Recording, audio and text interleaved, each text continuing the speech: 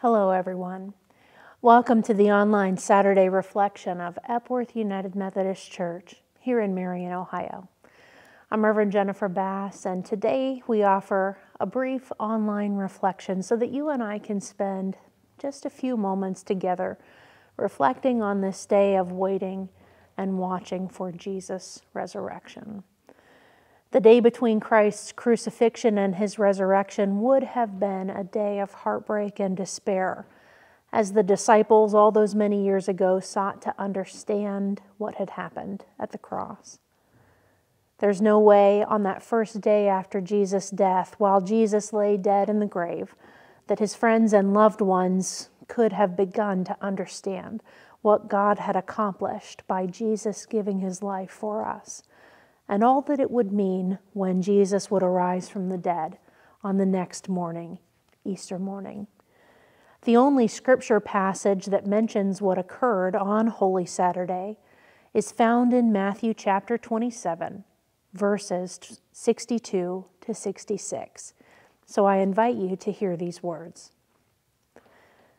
The next day, that is, after the day of preparation, the chief priests and the Pharisees gathered before Pilate and said, Sir, we remember how that impostor said while he was still alive, After three days I will rise. Therefore, order the tomb to be made secure until the third day, lest his disciples go and steal him away and tell the people he has risen from the dead, and the last fraud will be worse than the first. Pilate said to them, you have a guard of soldiers. Go make it as secure as you can. So they went and made the tomb secure by sealing the stone and setting a guard.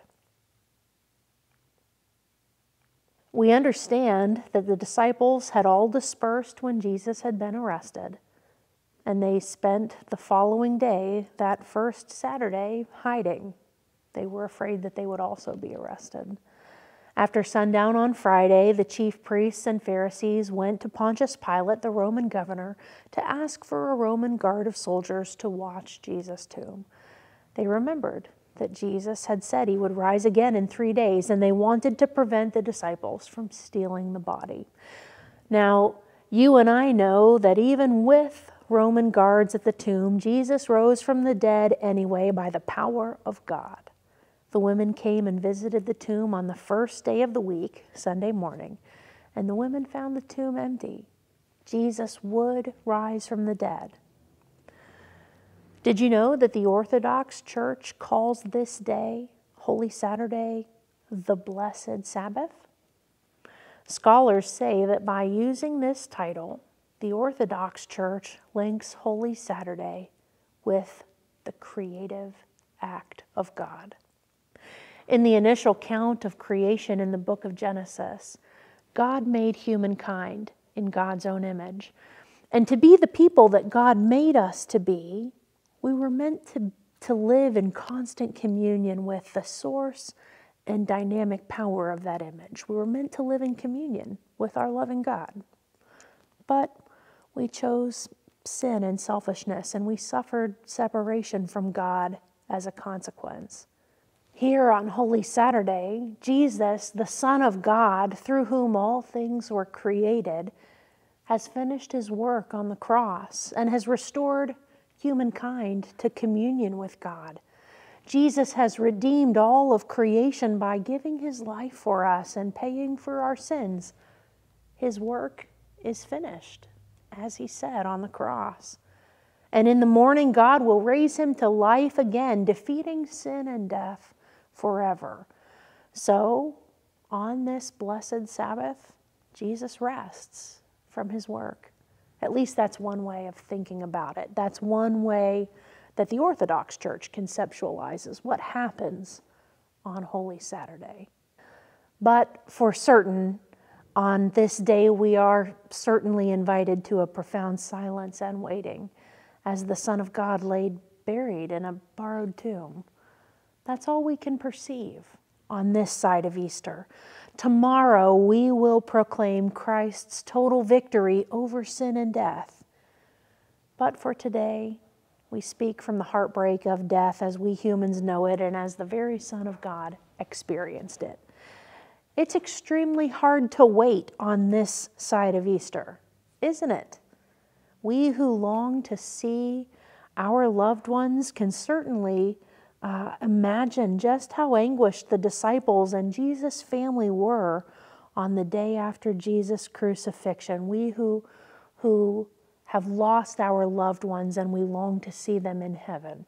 I mean, even if the disciples could remember that Jesus had promised that he would rise again on the third day. And I wonder if that promise was anywhere in the forefront of their minds. Maybe it was not. I would wager that the shock and grief over what had happened to Jesus was very overwhelming.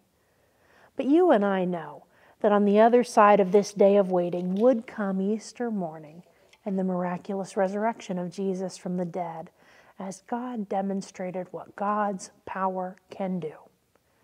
The disciples didn't know it yet, but they would see Jesus alive again. They just needed to wait a little while longer. Friends, as we prepare for Easter Sunday tomorrow morning, I remind us of the hope that you and I have because of the resurrection of our Lord Jesus Christ. Easter is coming in just a few short hours. I invite us to pray together today. Lord, today all is silent. You have given your precious life for the salvation of the world by dying on a cross. You died and poured out all mercy from your wounds, and on Holy Saturday you rest in peace in the tomb as soldiers keep vigil. Lord, may we also keep vigil with you as you sleep in peace. We know that this day ends with your glorious triumph and your victory over sin and death, which is final and complete and forever. But for now, we sit quietly and we mourn all human loss, brokenness, and death, and we grieve your death upon the cross to pay for it and redeem it all completely. Help us, dear Lord, to anticipate the glory of new life that we will celebrate with your resurrection in the morning. Fill us with hope as we wait. We entrust our lives to your eternal care, your constant provision, and we are grateful for everything that you have done for us. You are glorious and you bring the greatest good in everything. May our waiting on this day of rest be holy. We pray in your name. Amen. Dear friends, I invite you to go in peace. In the name of Jesus. Amen.